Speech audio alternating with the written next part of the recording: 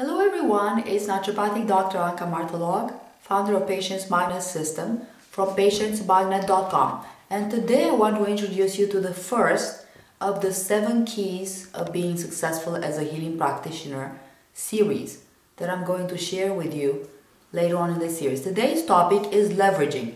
What does that mean? What is leveraging?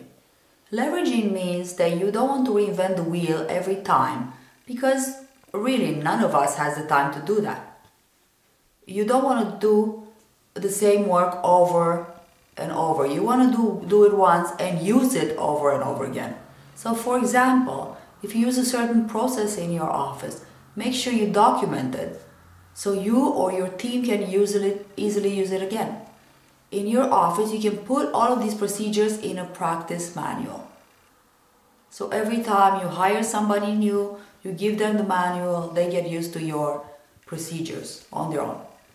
Another example is when you write an article, for example, you can use it in numerous ways. You can submit it to local publications, you can turn it into audio, video, part of, make it part of an ebook, make it part of a physical actual book you can use it, submit it to online directories, which is basically free marketing for you. So document all these steps and then next time you write an article is the same thing. Or suppose you teach your patients something over and over again. Write it down into a template. Another thing is suppose that there are processes that you use over and over, like uh, your filing system.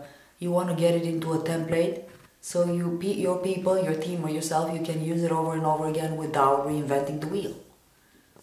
A system, another example is a system that your assistant or your virtual assistant is using all the time. Write it down so it becomes scalable.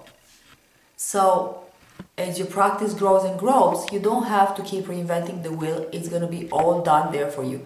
And really the best time to do all this is at the beginning when you're not that busy. And you can do this if you put a little bit of thought into it.